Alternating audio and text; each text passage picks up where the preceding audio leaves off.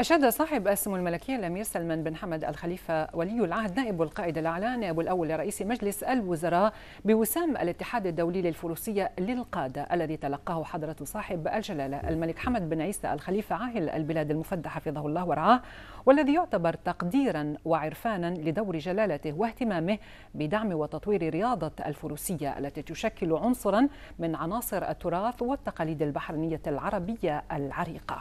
ورحب سموه خلال لقاء بقصر الغضبية اليوم بالسيد مار ديفوس رئيس الاتحاد الدولي للفروسية والوفد المرافق بمناسبة زيارته للمملكة. منوها سموه بجهود الاتحاد الدولي في مواصلة النهوض برياضة الفروسية على المستوى العالمي ودعم برامج وأنشطة الاتحاد لتنظيم مختلف البطولات والفعاليات الناجحة.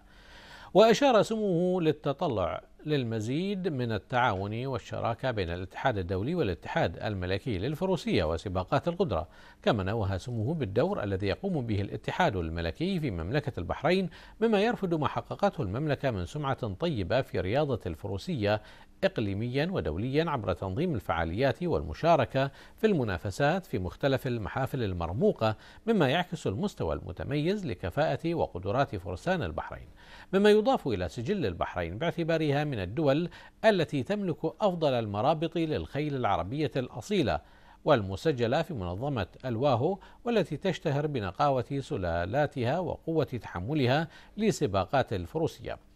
من جانبه أعرب رئيس الاتحاد الدولي للفروسية عن الشكر والتقدير على ما لقيه من حفاوة وترحيب خلال زيارته للبحرين مشيدا بجهود مملكة البحرين بقيادة جلالة الملك المفدى واهتمامها بتطوير ودعم رياضة الفروسية مما أثمر عن تفوق فرسان البحرين وتحقيقهم للعديد من البطولات الإقليمية والدولية.